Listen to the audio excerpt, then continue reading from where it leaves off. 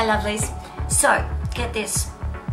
I heard that apparently uh, 8 million tons of plastic waste is being released into our oceans every single year.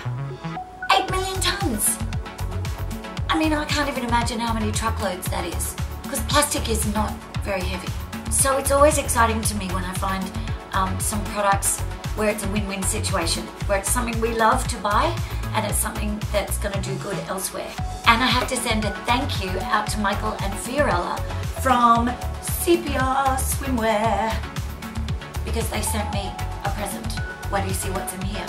Inside this beautiful box, gorgeous piece of driftwood, is a fabulous pair of togs. Ta-da!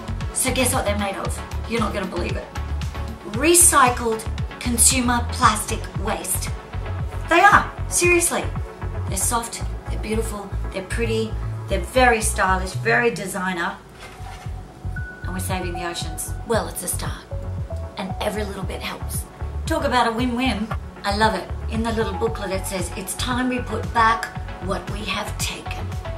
We proudly use sustainable fabric in all our swimwear, from trash to treasure.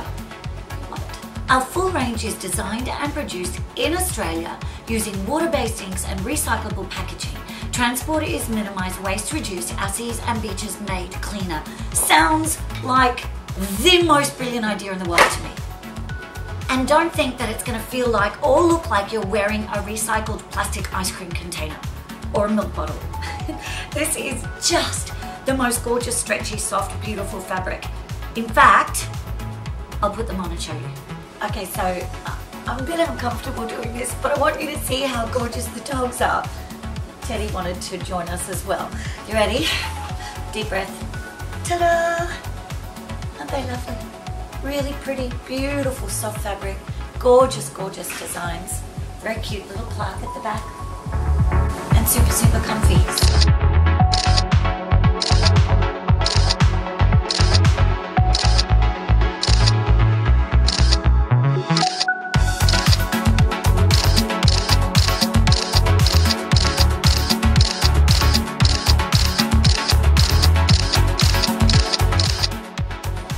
Seapia. Find Seapia. S E A P I A.